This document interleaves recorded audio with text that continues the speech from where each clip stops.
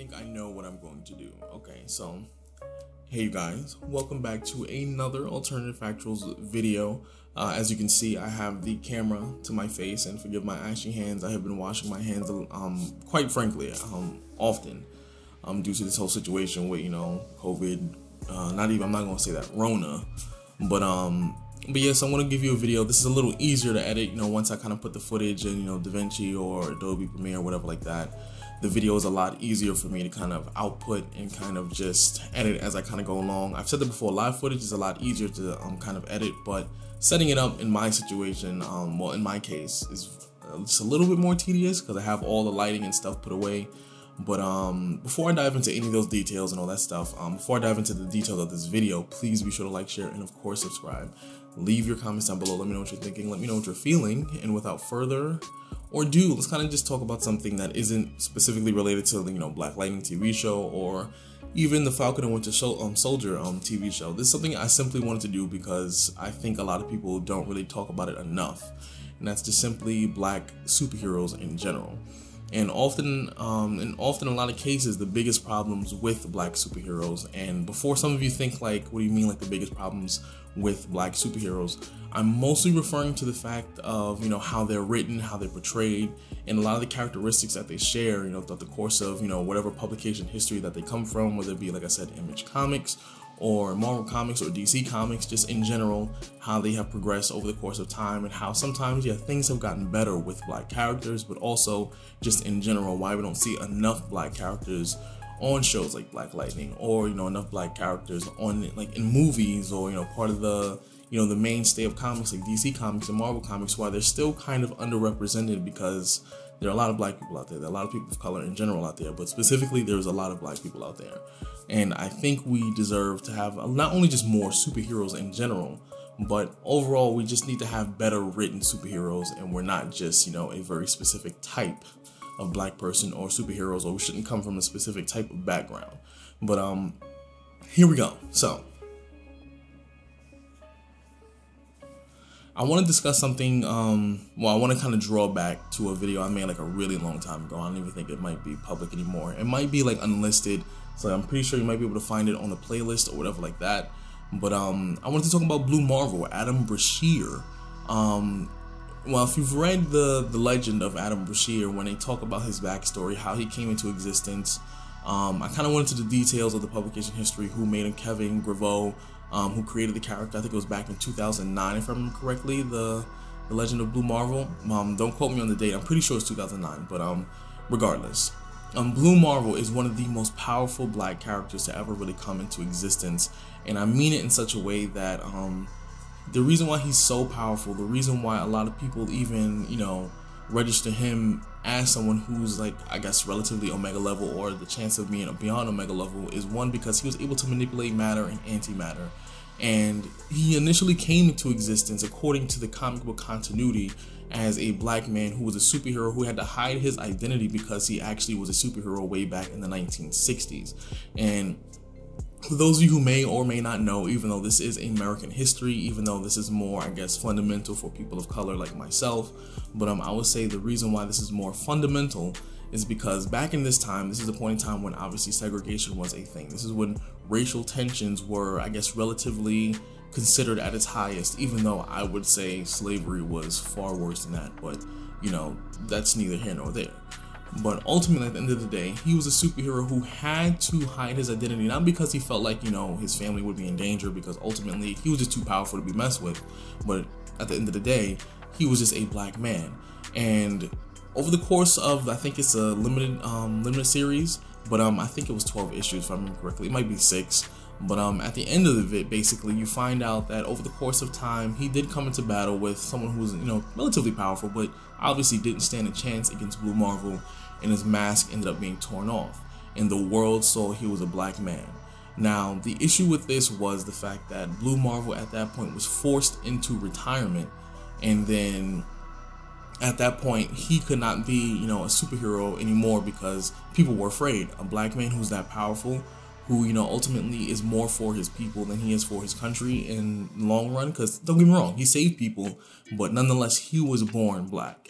that is who he is besides his powers besides anything else he did him being black was above all else and people did not want to see that especially back in the 1960s like i said according to the comic book continuity in which marvel introduced um, this whole blue marvel situation now the reason why i'm calling back on this is because in a lot of ways um, this was very reflective of the real world where a lot of comic book characters, you know, were created way back in the early 1900s when it came to Superman, Batman, you know, uh, Barry Allen, all these characters came to existence way early in the 1900s.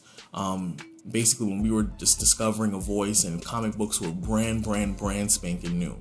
And we finally started to get kind of representation when it came to black characters like Luke Cage, like I said, Blue Marvel, uh, John um, John Stewart from Green Lantern, Black Lightning. When we started to get these characters in the 60s and 70s, you know, at first they all were introduced relatively the same way where a lot of them were like, you know, get your hands off me, Jive Turkey, blah, blah, blah. We were all talking the same as if we could not communicate properly outside of, you know, the slang that we may use with each other.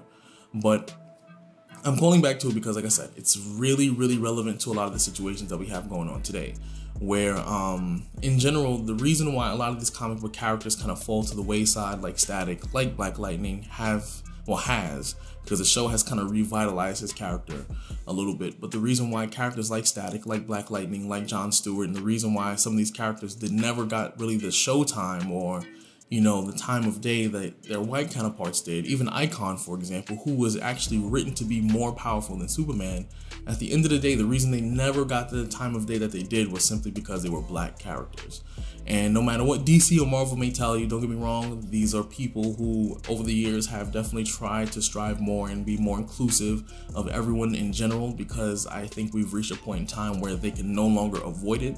But um, at the end of the day, they had to be more inclusive. But at the point in time I'm referring to, I would say 2010 and before, we never really got the time of day, and we only got like small shows like Static Shock, which show um, showcase. You know, yeah, we do have the numbers when it comes to demographic, when it comes to those TV shows, and you know, the show wasn't canceled because of low ratings because people love those shows, but just because they were black superheroes, and people are afraid to see that kind of representation in media because look what happened with Black Panther.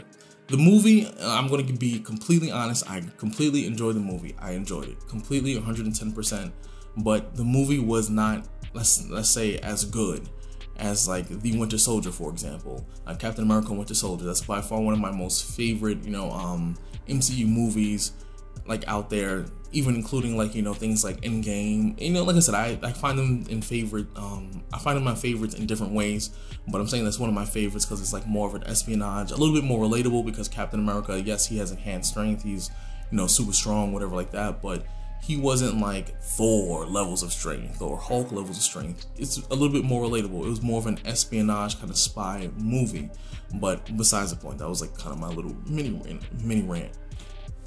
But um, these movies were ultimately just a lot more enjoyable. But the reason why Black Panther did as well as it did straight off the rip for that weekend and continued to do so months and I think even, you know, a year or two after the fact was simply because we showed up in numbers. People of color, not even just black people. There were plenty of. I went to go see Black Panther with uh, two friends who were Dominican, who identify as Afro Dominican.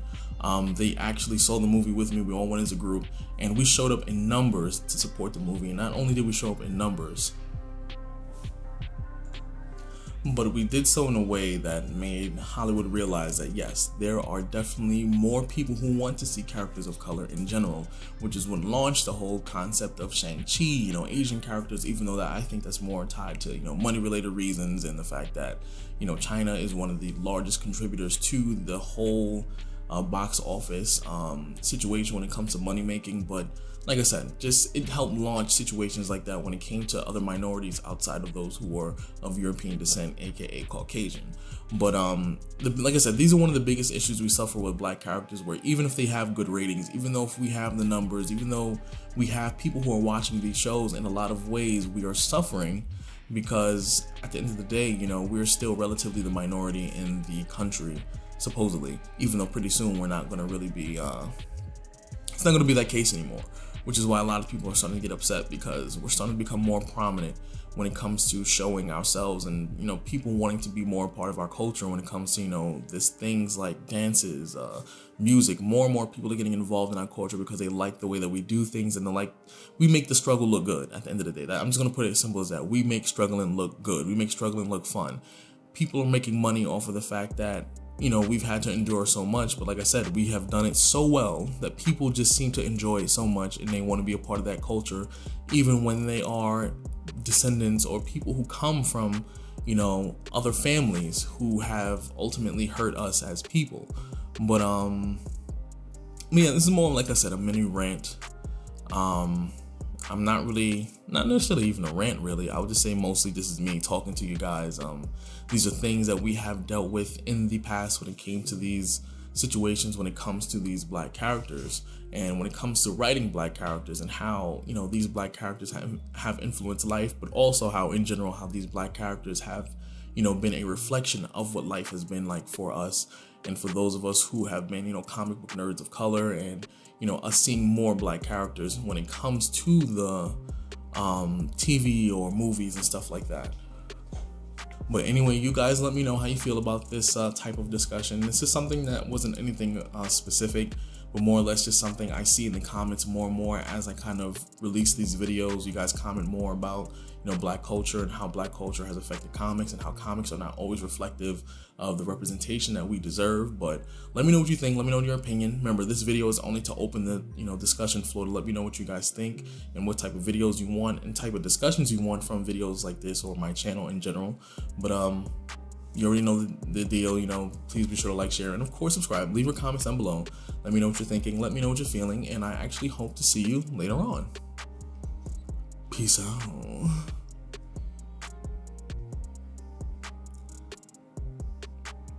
You know, part of me actually just wants to include like a little blooper thing. Like, I'm over here using my cinema camera. Like, I got this thing connected, able to use my phone and like kind of record, which is really dope via Bluetooth. But, eh, I'll see how this goes. But, uh, I don't know. Like, this Rona thing over here got me having like not necessarily nightmares, just like definitely that paranoia is kicking in for sure. Not for me, per I don't know, kind of for me, because I think other people's paranoia is rubbing off on me. Ah,